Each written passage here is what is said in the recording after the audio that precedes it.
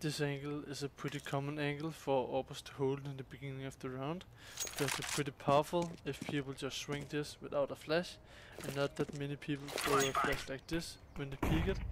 And for AWPer it's also really easy to just fall off. And if they miss the shot, they doesn't get the kill. But if they hit it, then they get the kill.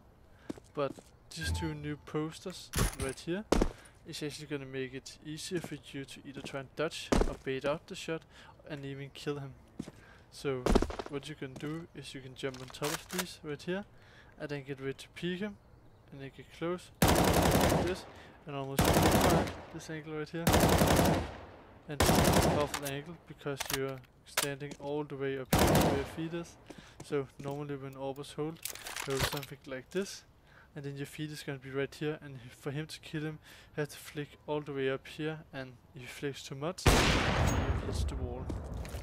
Another thing you can also use these boxes to uh, instead of just peeking from them you can like jump jump onto them and make the shot really really hard for the AWPer and you can even if you risk enough you can use the jump from right here to go around here and try to kill him before he goes all the way back. But yeah, I think these boxes actually makes a pretty good use and makes this angle less effective.